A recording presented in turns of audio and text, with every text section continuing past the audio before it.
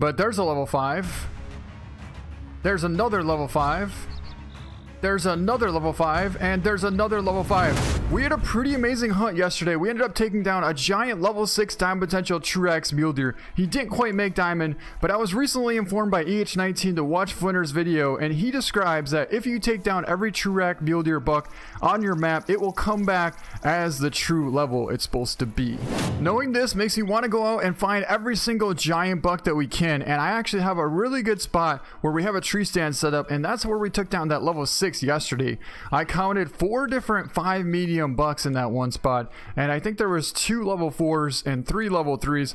There was just a ton of bucks over there, so we're gonna head over there, try and get in the stand, take the 30 odd six, and see if we can't get ourselves down a couple of giant TruRACS bucks. And there's our five right over there. That's one of the five mediums that I saw from the other day. There's another one I believe over here, unless that's a big four. That's a four, and that's a four. Now this is what's going to happen. This is probably going to come back as a three.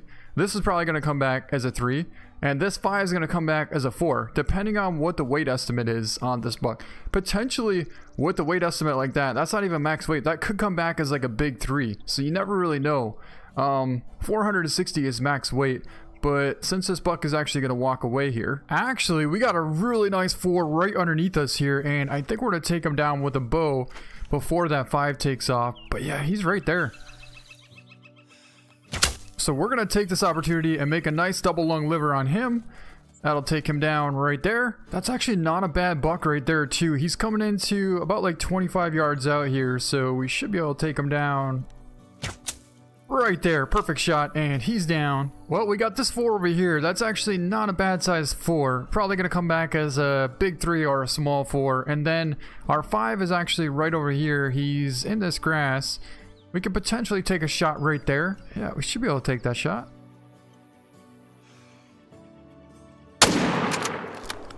Look like a good hit. And we'll be able to get the four, but just not how I wanted to. Uh, look like a good hit. Okay, so both those bucks actually should be down. So let's hop down, grab these two fours, and then go over and grab that five. Alright, we'll grab this buck first. And nice 226 gold double lunged him at 14 yards out. That's actually probably going to come back as like a big three. And this one actually, we double lung heart shot him at 29 yards. He's going to score 216. This one's probably going to come back as a pretty big three as well. So we'll grab both these bucks here. I think this is going to be our five. So we'll grab, oh my God, there's a gobbler right there. I don't know if it's going to spook or not, but we're going to try and put our 320s in real quick into the bow and see if we can't take him down. We'll draw back and go for kind of a headshot. Oh, we got him! We got him! nice! So let's go over here and pick up this gobbler. And then we'll pick up the other... That was a max weight 4.4 and a next shot 18 yards away with the bow. So here's the level 4 that we hit. Stomach intestine at 150 226 he would have been a gold but a small gold. He's probably going to come back as like a either a small three or a big three. So here's going to be our big level five which he's going to score 247 double lunged him at 160 that right there does have a really cool rack. His left side is actually quite a bit taller than his right side but a 247 and he actually is kind of borderline max weight, so he's probably going to come back as like a big, big four. We got a couple level fours here. They're kind of small, but I really would like to get them to come back as at least level three. So, you know, potentially if it comes back as like a rare, then we should be setting pretty good. But I would rather have it come back as the correct score. They're both piled up right next to each other. Scratch that, scratch that. Um, yeah, they both should be level fours, but 339. That's going to come back as a level 3 for sure. Cool rack though. And that's going to be another, uh, probably come back as a level 3 as well. 214, kind of a small estimate, but not a bad buck there. So I think we're going to take down some of these gobblers with uh, 22. Just because I haven't used it very much, so see if we can't take down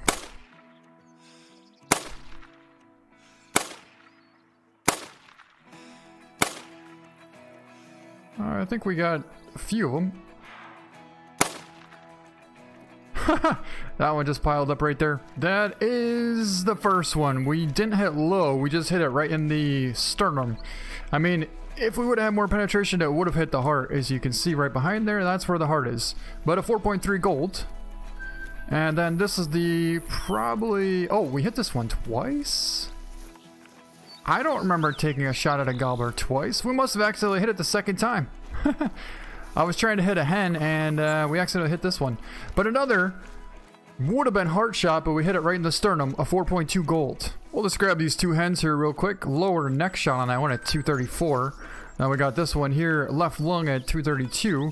And then the other one piled up right over here that was kind of mid-flight, which that was a good shot. 192 and right lung on her. So the next spot we're going to go is actually kind of one of my top secret spots where you really wouldn't think that there'd be a lot of mule deer here, but there's mule deer, elk, black bear, and mountain lion all in this one spot. Turkey as well too, and even bighorn sheep. But it's right in the middle of the map here, just south of this lake here, the uh, Ouray outpost and go south. This little lake right here, come here from uh, 9 o'clock in the morning till 10.30 and I have a tent set up right here. I enter this direction and I stop right about here. I have a stand here so if I need to we can get in the stand and hunt but I've actually taken out so many max weight muleys all in this one spot. And we should be there right about now. Look at all the mule deer. Oh my god. Look, there's one. Actually, that's a level 4. But there's a level 5. There's another level 5. There's another level 5. And there's another level 5. Four level 5 muleys here. And that's actually a pretty big dilute level 4. But I think that's going to come back as a level 3. So it looks like one level 5 might potentially get away from us. But hopefully he'll slow down and uh, come back. Anyways, we're going to try and take down for sure three of them. And it just so happens there's a really cool rock right here that if we lean forward a little bit, we should be alright to not hit the rock. We're gonna go for that four as well, but we definitely want to get the fives. That's actually a giant five right there. 260. Take a look at the weight estimate on that buck. That's a max weight uh, level 5 muley right there. So that means he's either going to come back as a big 4 or potentially like a small 5. See, that's a small four estimate there.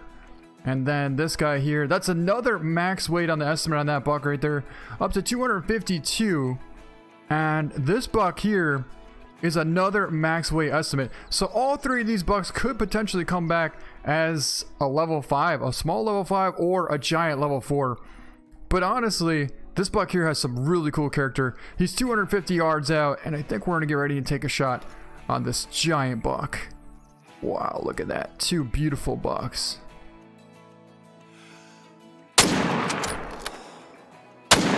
First shot was perfect. The second shot should have been liver, which, oh my god.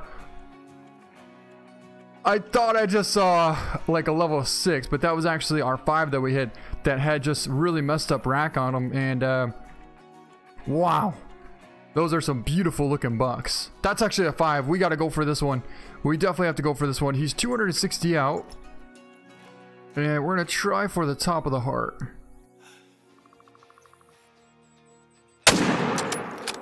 Must have missed it, but definitely should have been a good hit.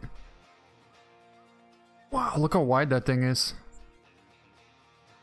And he just piled up right there. So we should have three level 5 muleys down. Wow. Now, imagine if even one of those comes back as a true level 5. That's going to be pretty crazy. And I'm really looking forward to seeing if that does really happen. And a very small one there. I do see two bucks down. One right there and one right there. And the other buck should have ran off this way here.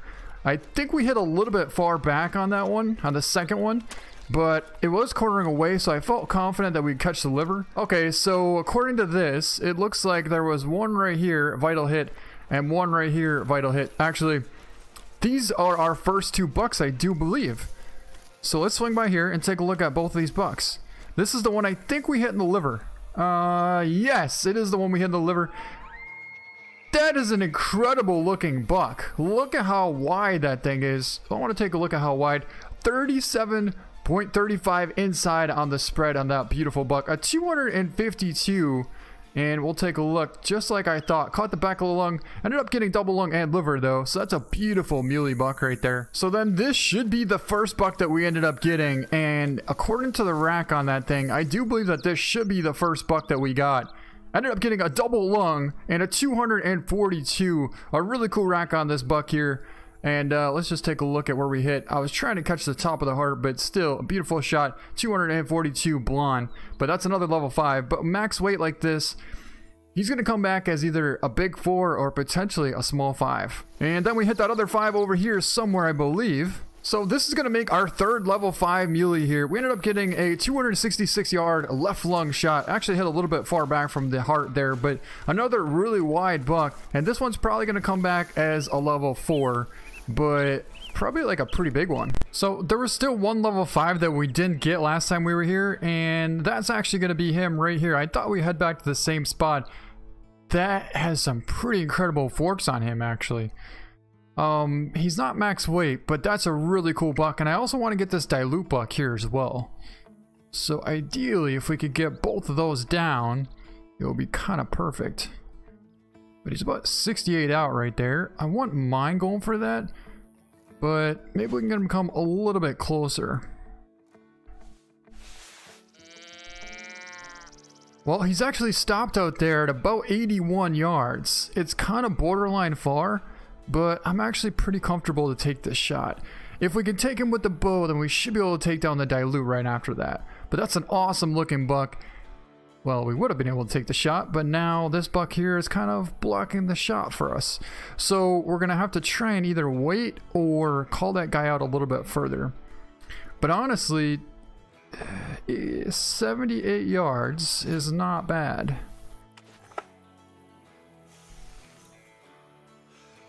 So if we hold for 68, oh, that's perfect.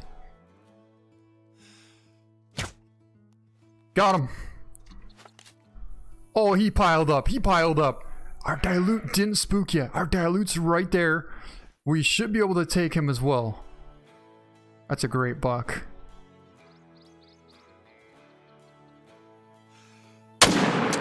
We'll go for him, and we'll go for him. So we got our 5 medium down and the dilute that we wanted from last time. That was pretty awesome. That actually would make four, five medium mule deer in this spot. So here's the bonus buck that we got, and uh, 198 double lung. But then this is our five medium, 245 blonde, double lunged him at 76 yards out with the bow. But that rack is so cool that I think we have to get him mounted. I don't want to spend any more money. The size of the forks on that thing, it's just, that is so cool. That really is. I don't even know what you would call that, but I guess like the length of the tine on the fork, that is so unique right there. That's a great looking buck. Well, I guess for whitetail you call them split G2s, but I don't know if you call mule deer the same thing or not. And here's our dilute. That's going to be a 226 gold left lung at 86 yards out. That's a really cool looking dilute as well. And the fact that he made gold, I kind of want to keep him. So I thought we head back to our trophy lodge here and we actually have a pretty good setup. The one on the left is a giant time potential that we got yesterday. That's the six hard. That's this guy here. And then this is actually our second biggest one. This one scored 283. He had a super high rack on him. That one there I think scored like 282. Okay, so this one scored almost the same as this one but he had a couple more stickers on him. And this buck here is actually our first buck that we ever got. He scored 247. If I could ever get close enough to him, I could spot him. Okay, there we go. 247.4. But then today, this is the one that we got today. He has, uh, he actually has split G2s and he's really unique and cool. So I am so glad to have him in here. And if you give me one second, I can jump up there and take a better look at him for you. That's a little bit better. This buck here is so unique. The fact that it has double split G2s, it kind of reminds me of a whitetail and like a big mule deer all mixed into one. He definitely makes a nice finishing touch to our wall here. So yeah, overall, I think we're going to look pretty good just like that. Yeah, I'm liking this quite a bit. Course, uh, imagine if we could get lucky enough to get this six, to come back as a true five, potentially he might come back a little bit bigger and actually be a diamond. But I mean, that's still an incredible buck. This is the buck we got yesterday with the bow at 80 yards out of a tree stand. And uh, if you haven't had a chance to check that out yet, make sure you definitely check the end screen of this video because it will be linked right there. But yeah, overall, that's going to be it for this video. Hope you guys enjoyed it. Hope you found that spot helpful because it's really good, trust me. Thank you so much for watching, and we'll see you next time.